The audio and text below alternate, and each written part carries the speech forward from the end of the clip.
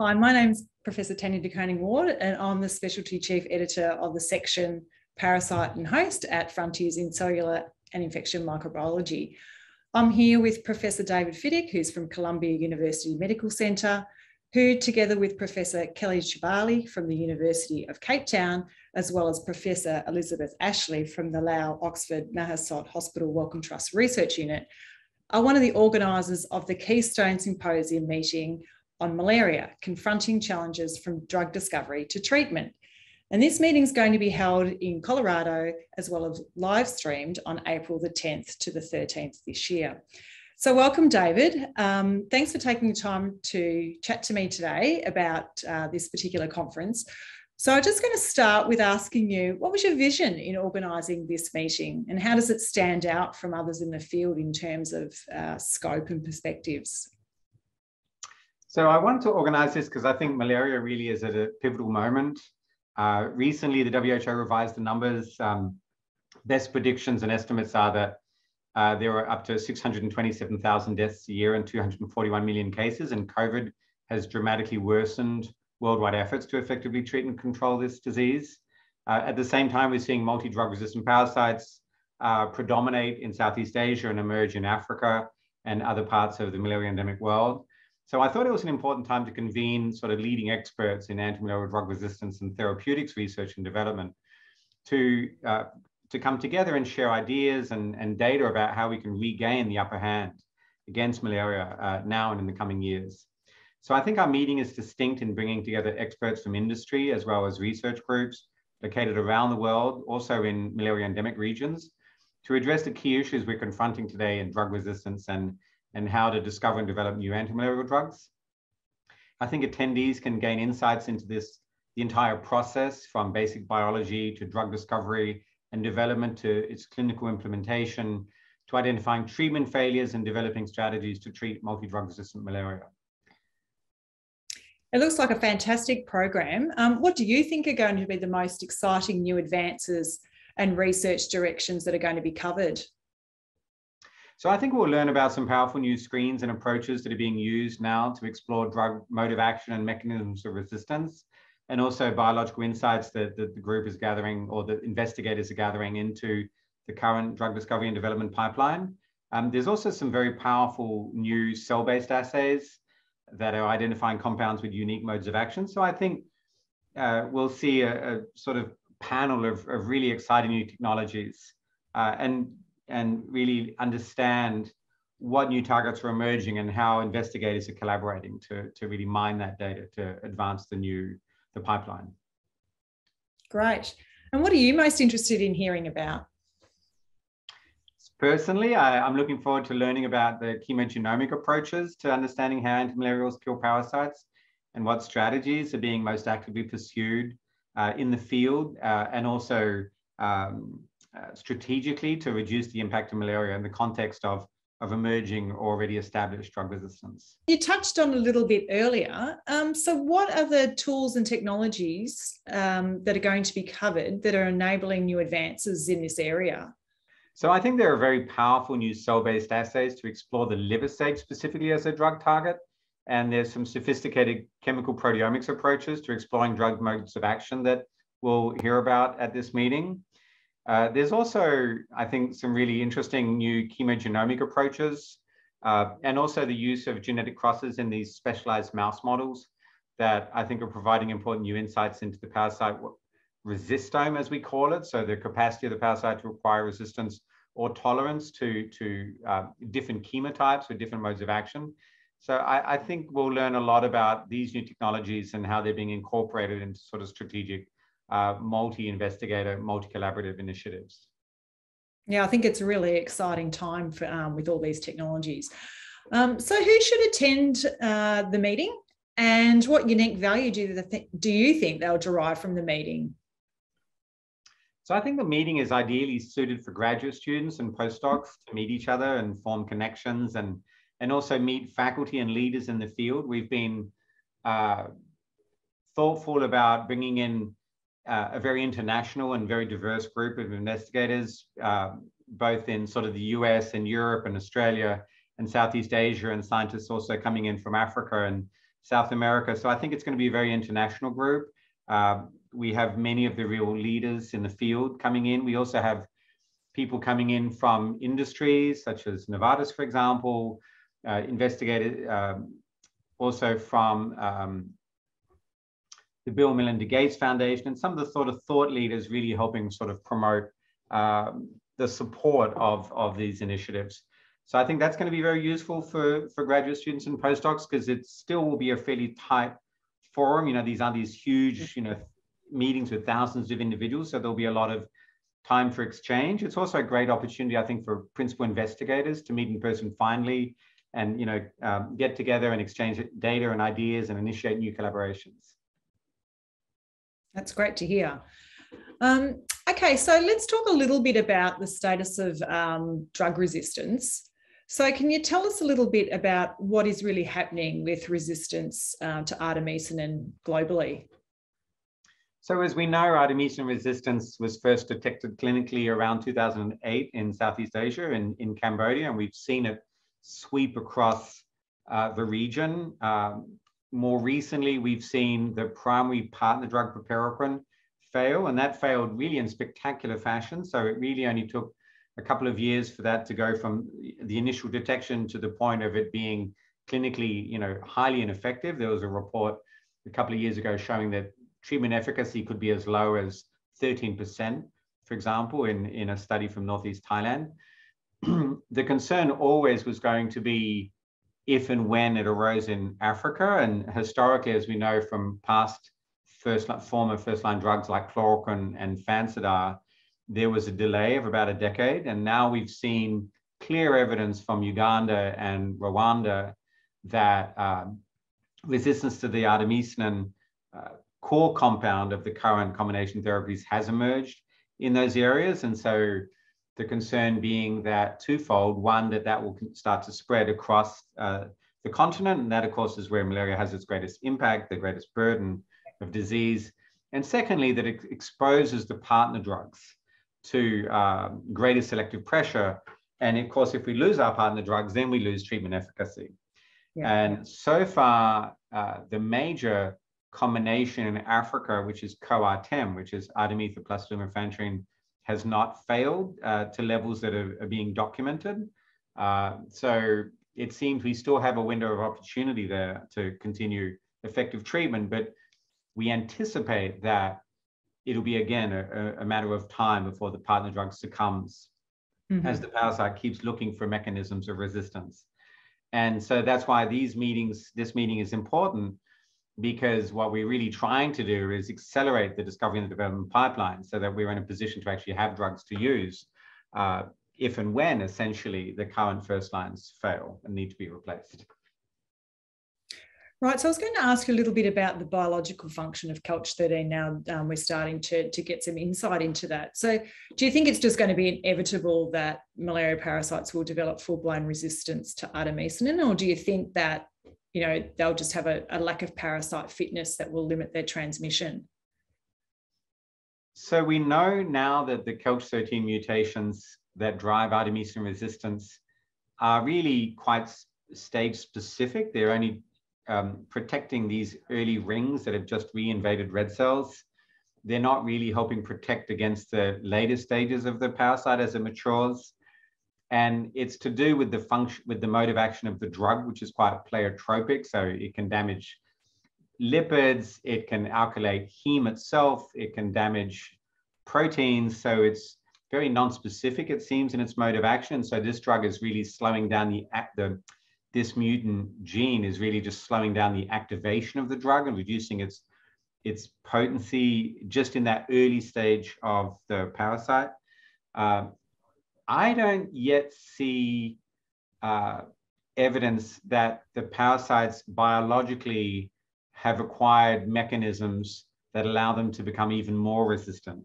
At the moment, it's really just a tolerant state. They're able at a certain percentage to tolerate drug action for a short period of time during a short period of its, of its intraerythrocytic cycle. I haven't seen evidence that it's figured out how to cope with drug action against the more mature trophozoite stage. So I'm not sure it'll fail. And, and as of, you know, the clinical consequence of the artemisinin being compromised is, is not uh, as substantial as, of course, when the partner drug fails, and then the combination of the two is what leads to treatment failure. So I don't think it's inevitable that artemisinins will, that parasites really will acquire full-blown resistance to artemisinin. Um, and for now, because a lot of the a drug like lumefantrine, you know, there is pharmacology at play. So far, parasites haven't figured out how to counter that. We haven't yet seen clear evidence that parasites are highly resistant to that. But again, with enough selection, with enough parasites, will we finally get there? That's that's that's um, one would predict that's going to be the case. Yeah, so it's always important to have a, a nice pipeline behind us. So I guess what do you see um, being the biggest challenges that are faced by scientists and people working out in the field with respect to, to drug resistance? And also, what are the challenges faced by um, people who are trying to develop um, anti malarial drugs?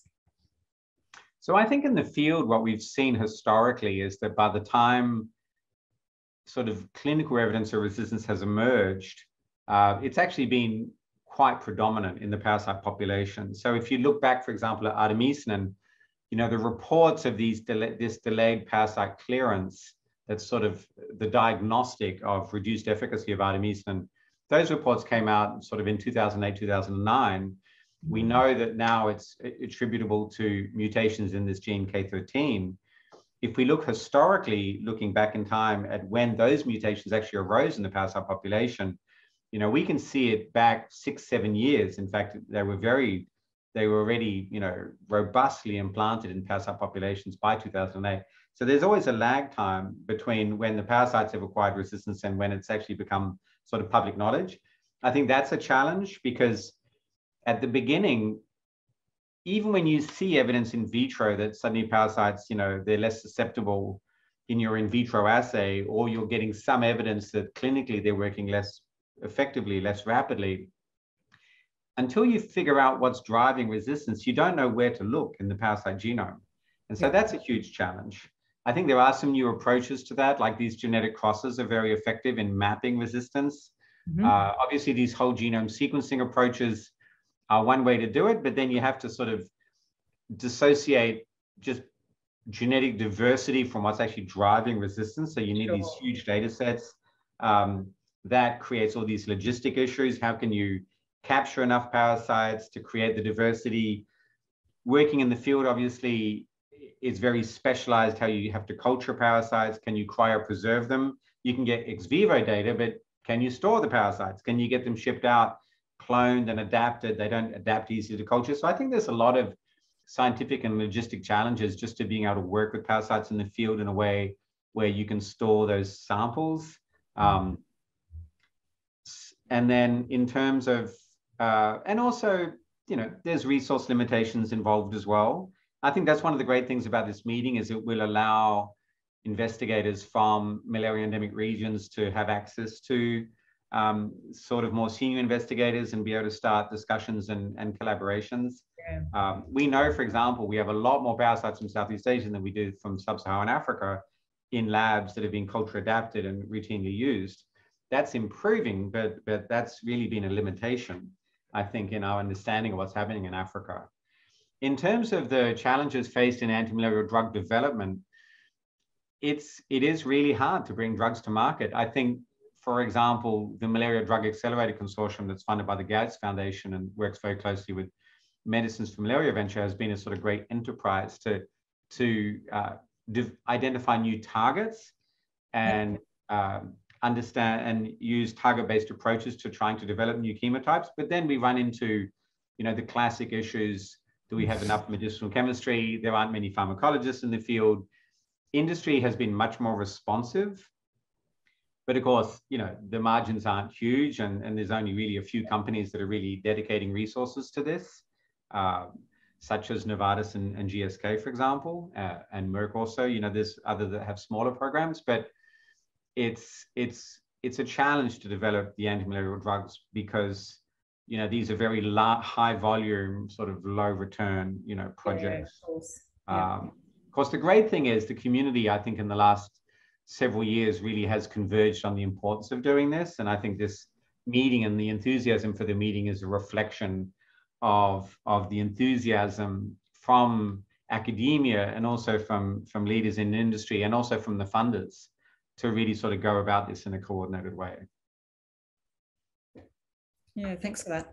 So I guess, you know, there's been lots of past failures with um, malaria drug resistance. So what can we do in the future to try and to try and counteract that emerging resistance to antimalarials that, that emerge from the pipeline? You know, what have we actually learnt from all those past failures?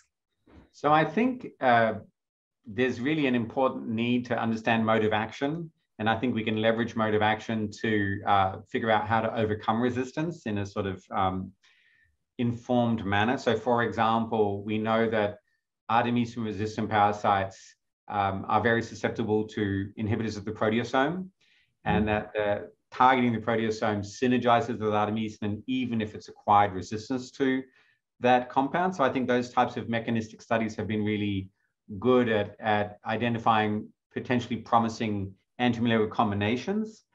So I think that's one approach, and that's where there's a huge value in continuing the, to study the basic biology under, you know, underlying mode of action of these drugs.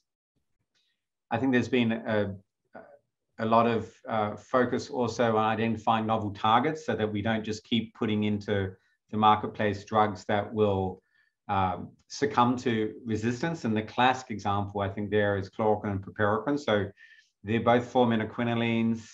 Uh, piperacin was active against chloroquine resistant parasites.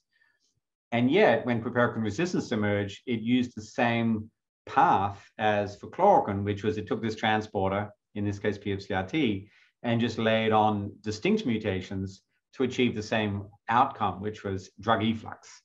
So, you know, I think there's been a desire to um, diversify the types of sort of therapeutic, you know, uh, checkpoints that, that we can target to come up with novel modes of action. The issue has been that a lot of the targets that have been identified in recent years um, can pretty easily mutate. And so resistance has really become an issue also in the sort of drug discovery and development landscape. So now there's um, pretty early assessment of resistance risks, risks to ensure that you know we're not moving you know a long way downstream in the development space with compounds that will sort of succumb yeah. to resistance easily in the field. Um, and so that I think is really helping inform uh, the selection of compounds that we can move forward, including, for example, these irresistible compounds where we don't know what their target is. Uh, and they, they have, may have multiple targets but we know their resistance risk is less. So I think that's also a strategy that, that has been helpful as we explore sort of the parasite resistome and and uh, and then what we call the druggable genome. Yeah, yeah. Okay, and so so finally, I guess, what do you think are areas of research that are, are still underexplored in this space, and, and what do you think are the key knowledge gaps that are providing a barrier to, to drug development? So I think that there's still uh, a lot of, uh, I think our understanding of sort of parasite cell biology uh, and biochemistry is, is still in its early days. So, you know, as we're looking at different uh, targets and, and different chemotypes and their modes of action, I think we're starting to build a, a better understanding of parasite metabolism and response to stress and this constant sort of balance between you know, de novo biosynthetic pathways and salvage pathways, and how can we, you know, which of those pathways are good sort of intervention points. So I think there's still a huge amount that we need to understand about just the core principles of parasite biology, its cell biology, its biochemical, you know, networks, um, and really figuring out which of those are the most valuable from a sort of therapeutics perspective. Um, there's still real shortage also in, in medchem and pharmacology, and there's still a need to continue to integrate sort of multidisciplinary approaches that combine all the different disciplines to really sort of home in on, on what are the right uh, what are the right targets and the right chemical compounds, and how can we sort of you know continue to generate support for funding all of that essentially. Absolutely, that's great. So thanks uh, David, for all your insights um, in this area. And I just want to ask, are there any final comments that you would like to, to make about the conference or um, the area? So I, I, think that you know malaria has really advanced quickly uh, in recent years. It has become more applied, but it's also I think become much more uh, multidisciplinary. I personally I've been in this field for 30 years. Um, I you know really appreciate the malaria research community because it is such a, a collaborative group of investigators, you know, with a common goal. The biology is fascinating. Uh, the epidemiology and, and you know issues of social inequity and access to healthcare. It's, it's a very rich field to explore um, intellectually. And I think it's a, a, field that the malaria research community is really passionate about. And there's a lot of sharing of, of data and, and exchange of ideas so I find it's a really rewarding community. I would definitely encourage people to to look into it. I think it's a really important sort of area of, of public health need. Uh, I think it's going to be a very exciting meeting. I think we're all absolutely itching to to leave, um, you know, home and get out there and talk to scientists and spend a few days just just thinking about science. Breckenridge is apparently gorgeous. Um, for people who want to ski, apparently it's still possible. Um, be warned that it's 9,000 feet or something ridiculous. So, you know, you might be panting for the first day or two. Um, but I think, you know, I think there's, it looks, there's a lot of excitement about uh, the meeting, a lot of interest in doing it. I, I, think it's going to be really well attended despite the challenges of COVID. Um, we're certainly going to do our best with, with, you know, vaccine requirements and on-site testing and, and just really maximizing. Uh, and I also think we're going to be post the Omicron wave. So I'm hoping that mid-April actually is going to be a sweet spot for that in terms of, of really having much less risk uh, at that time. So I'm excited. I think it's going to be a great meeting. I'm working with Kelly Tribali and Liz Ashley, we've been a really, um, it's been a really constructive uh, group to, to coordinate this meeting. Keystone Symposia have been amazing and, and, and real professionals in um, in putting this together. So um, hopefully it'll be a great turnout. I think it's going to be a super meeting. Totally agree, David, about the malaria community and just how the field is just really pushing forward. I think it's a really exciting time. Um, I'll be live streaming on the other side of the world. Unfortunately, can't attend there in person, but yeah, I, I think I'll be up in the middle of the night watching because I think it's um, it's going to be a fabulous uh, program. So really appreciate uh, the three of you putting this program together. It looks fantastic, and, and thanks to Keystone for for organising the conference as well. So thanks. Thank you.